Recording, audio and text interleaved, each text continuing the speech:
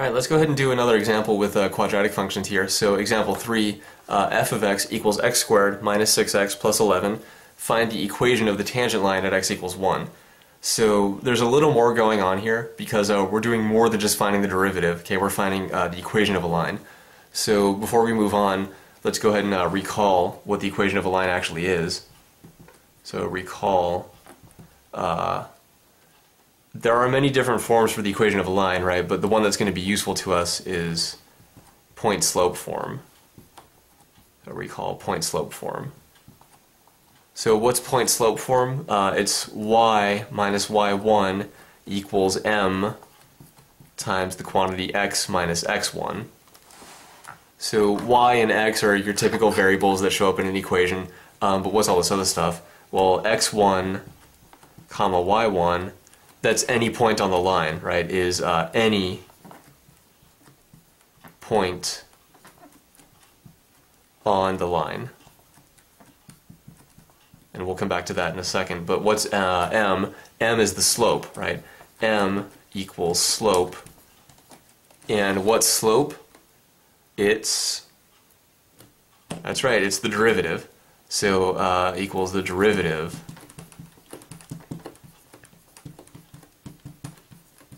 okay, because we're talking about a tangent line here. So uh, the slope, okay, we want the equation of the tangent line. So to get the equation of the tangent line, we need the slope of the tangent line. And what's the slope of the tangent line? It's the derivative, right? Uh, the derivative where? The derivative at x equals 1. So it's uh, the derivative at x equals 1. And uh, in other words, that's f primed of 1. All right? So we need to figure out what f primed of 1 is right? But before that, um, what's this point x1 comma y1? Well, it's any point on the line, but um, all we know is that x equals 1. Okay, that's that's all we really know. Um, that's all we have any information about. Uh, so here, find the equation of the tangent line at x equals 1. Um, I guess we really don't even have information about it, but we just know that uh, we're finding all this when x is 1. So let's just go ahead and use that. Uh, it'll be the simplest thing to do. The simplest, well, maybe not the simplest, but definitely the safest. So let's just go ahead and do that because um, it's the only value of x we're given. So when x equals 1, let's figure out what y is. And actually we're going to have to do that anyway when we do the derivative. So uh, when x equals 1, y equals f of 1, which is what? Well, f of x is uh, x squared minus 6x plus 11. So f of 1 is 1 squared minus 6 times 1 plus 11, which is uh, 1 minus 6 is negative 5, and then plus 11 is 6. Alright, so that's that. Um, now let's go ahead and figure out what this derivative is. Alright, so now, well I guess before that, real quick, let's just write down our point, uh, x1 comma y1. So this is uh, 1 comma 6. Alright, so we have that now. Um, now let's figure out what the derivative uh, f prime of 1 is. So if we come up here, uh, then what we have is f prime of 1 equals the limit as h goes to 0 of f of 1 plus h minus f of 1, uh, all that divided by h, right? So there's our difference quotient, uh, taking a limit as h goes to 0. Now we just have to figure out what's f of 1 plus h, right? And we already know f of 1, right? We just figured that out down here. Um, so let's just figure out what f of 1 plus h is. So, uh, let's come down here. f of 1 plus h equals, uh, it's going to be 1 plus h squared minus 6 times 1 plus h, then plus 11. So this is uh, 1 plus h quantity squared minus 6 times 1 plus h, and then plus 11. Right? So um, let's erase this here.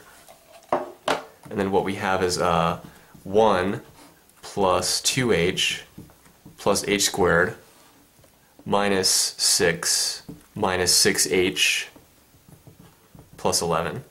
So when we combine like terms, we have uh, h squared plus 2h minus 6h is minus 4h and then plus 1 minus 6 is uh, minus 5, plus 11 is plus 6. Right? So f of 1 plus h is h squared minus 4h plus 6. So let's go ahead and put that up in here. And we have a limit as h goes to 0 of h squared minus 4h plus 6. And then minus f of 1 means minus 6, because remember f of 1 is 6. Okay, so now all that's still being divided by h. So now we just simplify. Um, plus 6 minus 6, those cancel, that's great. And now we have a limit as h goes to 0 of h squared minus 4h all divided by h. So let's factor out that h from the top. And we have a h times h minus 4 all divided by h.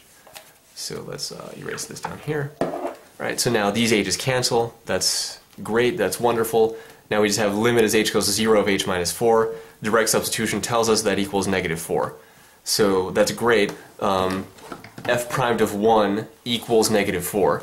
So here f prime of 1 uh, equals negative 4. That's our slope m. So now we have x1, y1, we have m.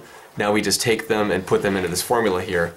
So let's go ahead and do that. Uh, we're going to get y minus 6, y1 is 6, all right, equals uh, negative 4 times x minus x1, and x1 is just 1.